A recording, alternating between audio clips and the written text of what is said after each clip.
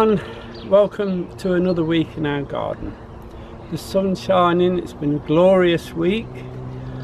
We've had a little bit of frost this morning but it was soon burnt away and the sun's come out and it's absolutely beautiful. Downside is we were trying to get this winter wash on. As you know the blueberry has burst into leaf so we can't spray that. The currant bushes behind me they got into nearly bud burst so we can't spray those. But the gooseberries here they are still dormant so I can spray the gooseberries. I've done one side we'll do this side and then we'll have to nip down and have a look at that apple tree carefully. And if there's any bud bursts we'll put the knapsack down. Before we start this is what I'm using. It's uh, it's available to everyone it's the uh, Vitax Winter Wash and it's suitable for edible and ornamental crops, fruit trees and bushes. It's a good one. Follow the instructions though, you must follow the instructions. I've already done this and put a charge into the knapsack to save a bit of time. Let's get some spraying done. Right, these are gooseberry bushes. There's a little bit of bud showing but there's not actually into bud burst so I'm going to give these a spray. It stops stops the chafer bug later on if we get them a good spray now. So let's get the knapsack round. The spray I've put on is a big fan spray so there's not a lot of mist coming off it but a lot of spray coming out so it won't take long to spray medium pressure not a lot. And then just you can see it's not misting it's just spraying. I think I've got a bit of a leak on the head let's sort that. There you go. A good drench. Make sure you're getting all the cavities and between. That's where the bugs will be. As soon as you see it running off stop. And that's it it's as simple as that to winter wash your fruit. Let's go and have a look at this apple. Right, we're down the garden now at the apple tree. I've had a good look round it. There's, although the buds are beginning to swell a little, um, they're not bursting yet. So I'm going to give it a quick spray over and it'll be dry in a few hours. You see the bud is not open yet so it's fine. If they're looking at it and there's a little bit of green, don't winter wash it, you'll burn the foliage. Quite a big spray nozzle I've got in so it'll soon do it, it'll soon soak it. Just give it a good soak till it starts to run and then stop. Get right in where the the branches are, that's where they'll be in the in the sides of those joints of the branches you'll get them I'll have to get this mending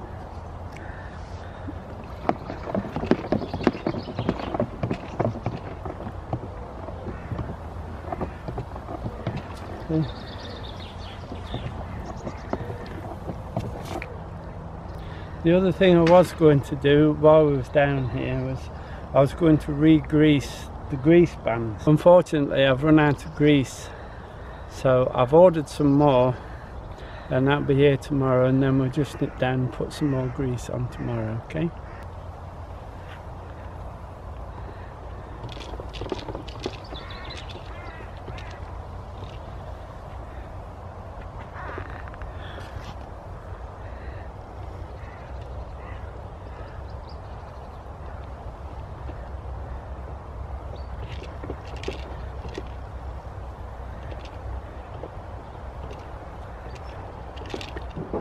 that's it. So that's the apple tree winter wash for another year. I'll do the plum but I think that's a little bit more advanced than this but I will have a look and if it's beginning to burst I'll leave it. I've done all the top ones. I've done this. Right while we're down here while I'm taking the knapsack off Diane will show the progress on the beds. I have progressed a little this week. This is the garlic that we put in, it's just beginning to start and pick up a little now. There's one or two gaps that have haven't germinated, well, haven't grown, but that's fine. There's a few more this side. I put them down here because the ground's not quite so rich down here, so they should bulb up better. Now, just before we go to the bottom, I'm just going to put the soil probe in to see what the temperature is. Right, we're just taking the soil temperature down here. As you can see, it's hovering between 5 and 6 in the root zone. That's quite good for this time of year. Now we're down at the bottom of the garden now and just show you the progress of the Great Wall. Not a lot this week, we've had a few visitors this week with it being birthday week. So I haven't got quite as much done as I'd like. I have put tarpaulins up to stop the rain from washing onto the the stuff we have in storage which is the pumpkin frame and the arches for the tunnels. I keep all those in there. I just didn't want them too wet because I actually want to paint them before I use them. Now I'm thinking that because there will be no electricity down this far obviously and there'll be a shed at the back. I'm thinking of putting a window here that I've got and letting the light go through so I'll have the three doors and a window to let the light into the back. I really want to use the shed down here at the back for a root store in the winter because obviously it's very cold down here at the back and that will do nicely this small piece of wall here is actually where the the lean-to will finish. It has a low wall that it sits on but as you can see my levels in here are all over the place. It was a, it used to be a pigsty and then it was a stable and now it's going to be a greenhouse. Right we'll make our way up to the shed. On the way we'll take some samples for the soil tests from bed A. I've done B, C and D as you'll see in the shed.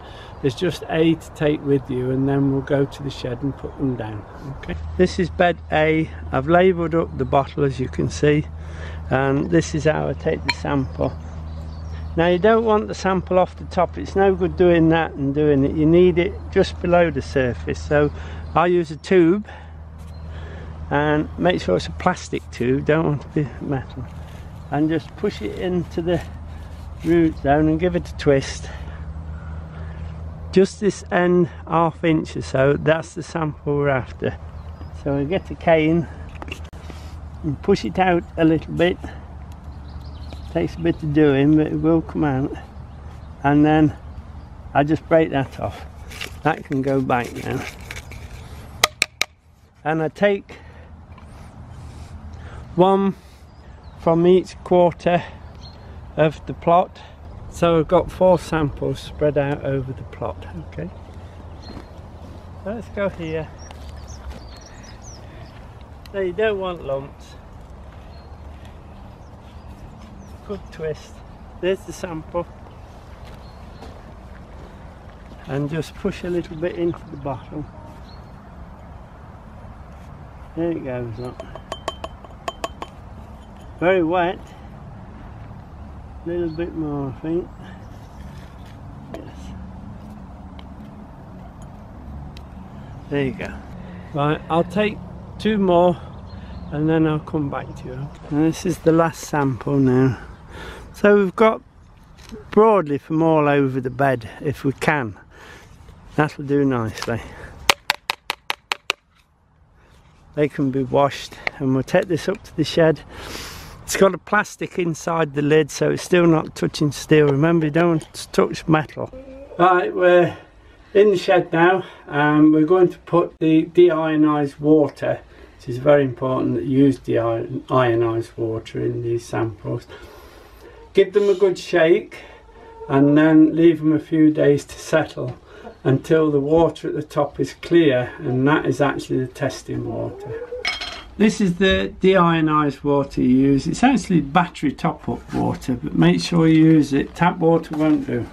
What you do is just put it in till it comes just above the sample that'll give it room to settle okay put your lid on and then nice tight jar this is sample D and then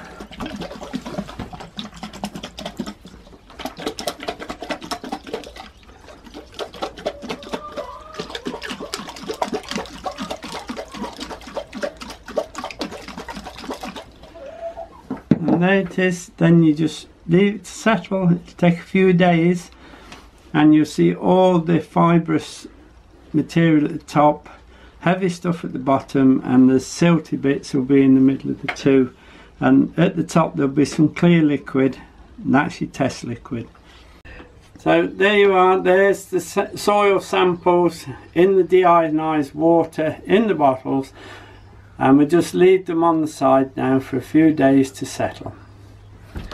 We'll show you the progress of that next week. Usually it takes about a week to settle, sometimes a little bit longer. The next little job I want to do this week, I want to put some broad beans in. Now we're not great lovers of broad beans, but we do like them, but not in large amounts. So this year I'm putting about 20 but they're in two so there'll be 40 plants in 20 lots and we'll do them in a single line. The broad bean I've chosen is Meteor.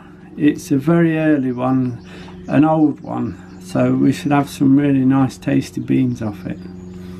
You can soak them a few hours if you wish before you put them in. I haven't done that. I put them in on the ends like that, two to a liner if you like and then if we give them a good watering top them up give them a good watering in a couple of days they'll they'll be nicely swelled up and they'll soon be germinating the only thing to watch with these and I'll show you in a moment you get quite a few rejects but I'm only putting two in the pot should be fine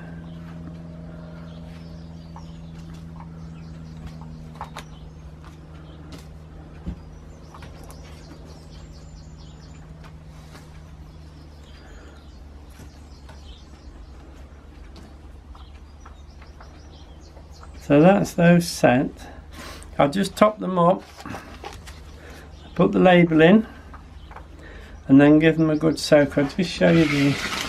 Now these are the ones I've actually rejected. As you see, they're cracked, very small. I just chose the nice big ones. So I shall actually discard those. I've topped them up. It's just ordinary potting compost. This is nothing special and the thing is I'll give them a good watering and I'll keep my eye on them.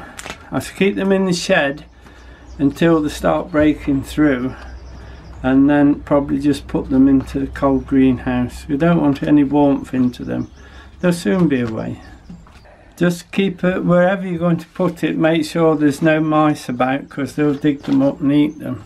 If there are any about put a cover over it or something okay.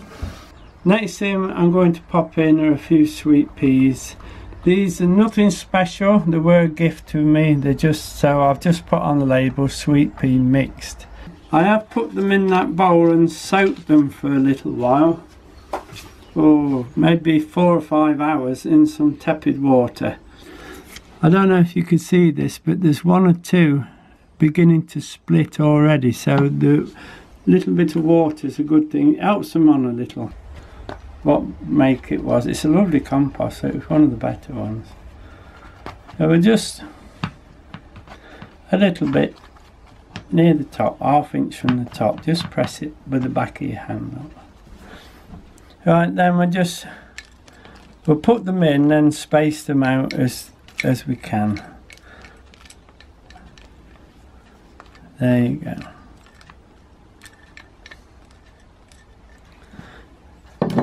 Now they're not all going to germinate so we'll just spread them a little bit. No need to be too too thorough with it. You can if you want. But that should be enough.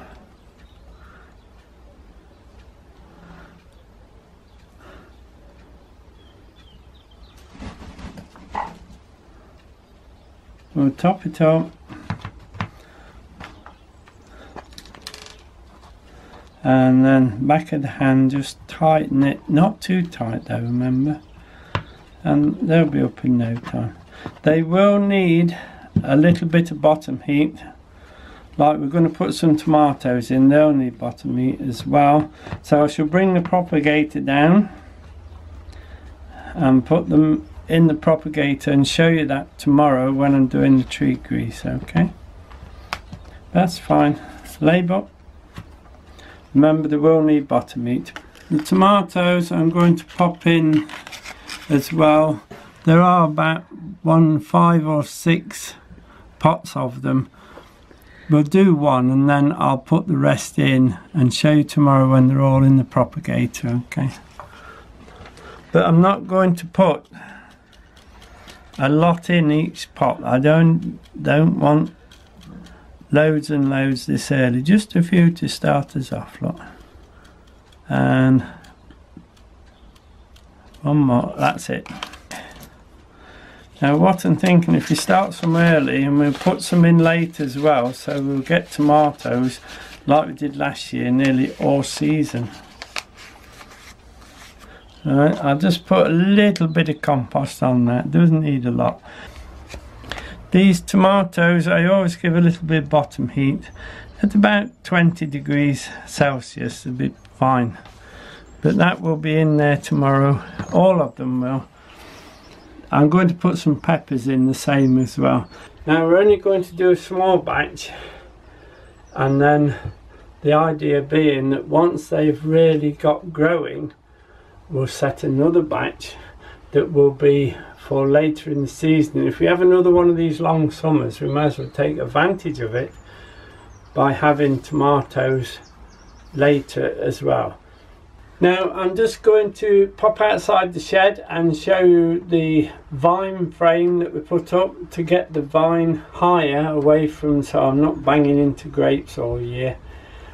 Now before we finish today I'd just like to show you the frame that I built to support the grapevine to stop all this grapes hitting me on the head or somewhere. I painted it green so it matches the shed and the chicken hut so it'll blend in nicely.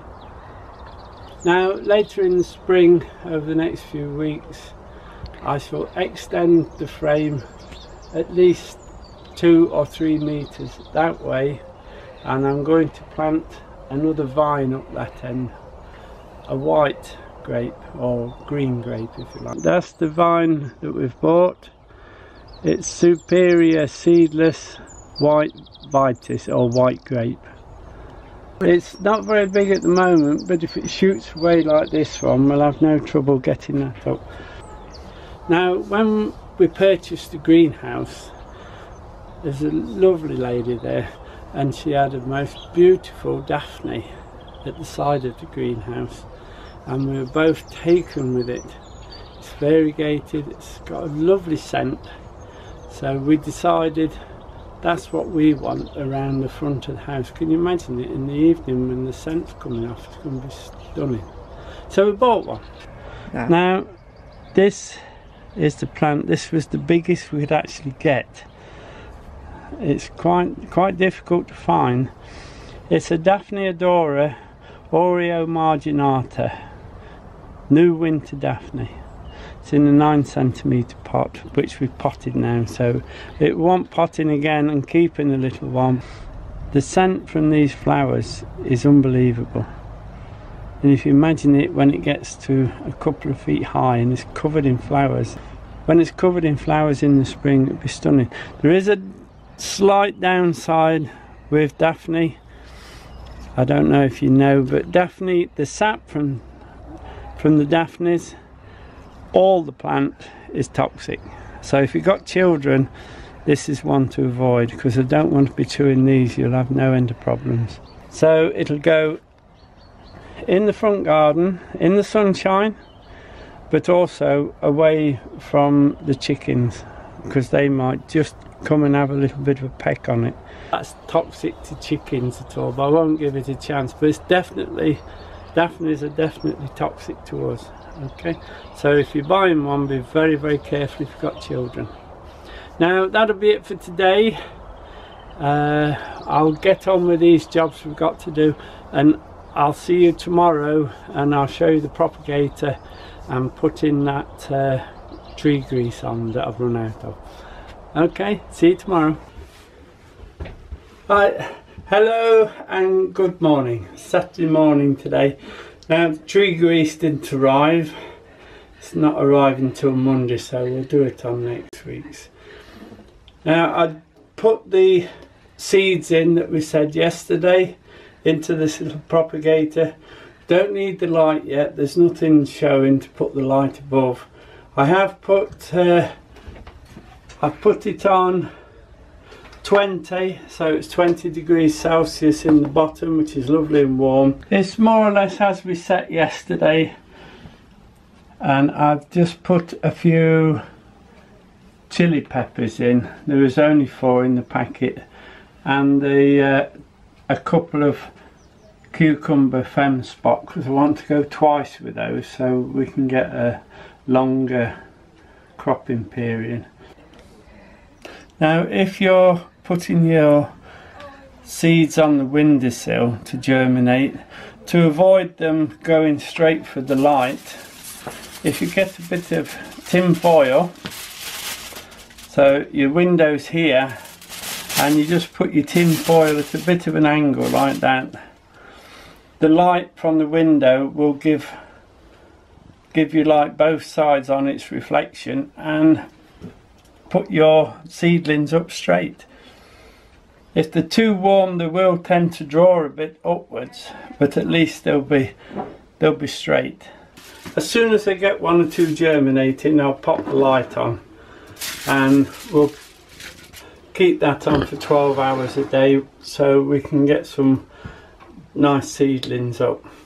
We've done plenty here for now now as we get towards the end of the month which is not long now and especially into next month we'll start putting the seed in ready for the season. But I don't want too many too soon so I do them in small batches so I can keep keep them going through the system. Next week I'll show you the overwintered geraniums etc and fuchsias that have managed to overwinter in the shed so we'll pop the lid on this this helps keep it that little bit warmer It has a thermostat cable in it so it switches on and off as it wants. It's on at the moment. If it gets warmer in the day it'll just shut down and then come on tonight when it's a little bit cooler. So that'll be it for this week. Hope you've enjoyed it. Many many thanks for watching. Thank you for subscribing. We do appreciate it. And hopefully, we'll see you next week. Bye now.